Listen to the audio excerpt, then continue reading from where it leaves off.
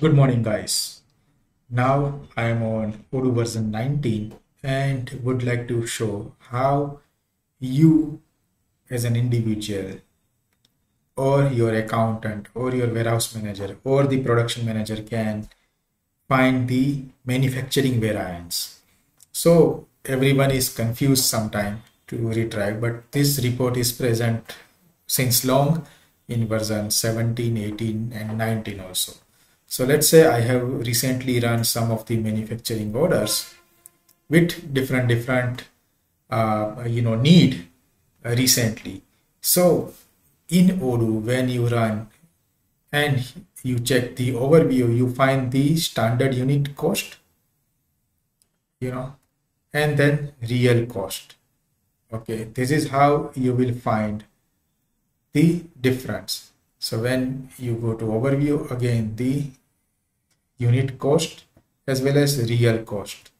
Okay this is how each and every manufacturing order will show you. Now over here in reporting you have production analysis report. Once you switch to pivot view you will be able to see a lot of parameter over here which gives you the average component cost to average employee operation and total cost per unit as well as the expected component expected employee expected operation and expected total cost and then quantity demand and quantity produce. This is how the entire production analysis can lead you to variance report. So let's jump and create our own variance report based on all these parameters. So let me disable everything over here now what I need to see how many quantities demanded, how many produced. And I need to see total cost also with total component cost and total cost of the production, post-production. Okay. And then what I will do, I would like to see the expected total cost per unit, which is coming from my BOM overview and then average total cost per unit which is coming after the production done. Now my fg1 is there and i would like to see per manufacturing order variance. So this is where now you can see from mo1 to mo5 i have been producing different different quantities and then my total component cost was same and over here it is doubled and my total cost is doubled over here. How?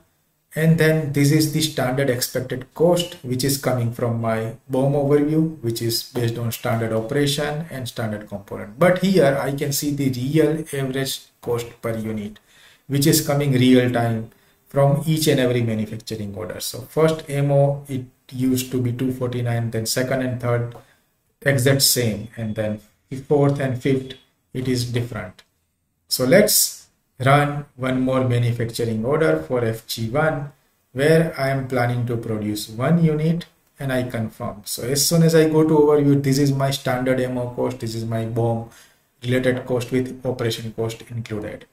Now what happened during my purchase, now let's say this particular item cost me more and I confirm the order and I receive the item in my warehouse and then the another item which cost me almost double this time. So i confirm the order and i receive that item. Before i proceed further what i need to do is i need to go to purchase and register my valuation. Once i confirm and create the bill at that time only odoo will create my stock valuation entry over here in inventory so now if I go to my MO, the manufacturing order, and I see my overview, now you can see entire thing change because this item, the cost is changed and my unit cost is also changing with consideration to operation.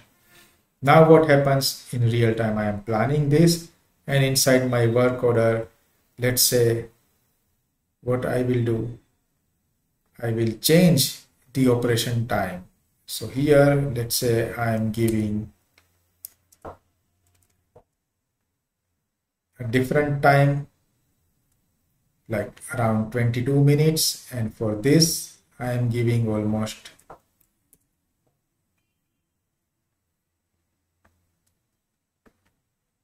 one hour plus time. So on my overview now you can see the AMO would have been costing 380 but the real cost is 368 for this particular operation.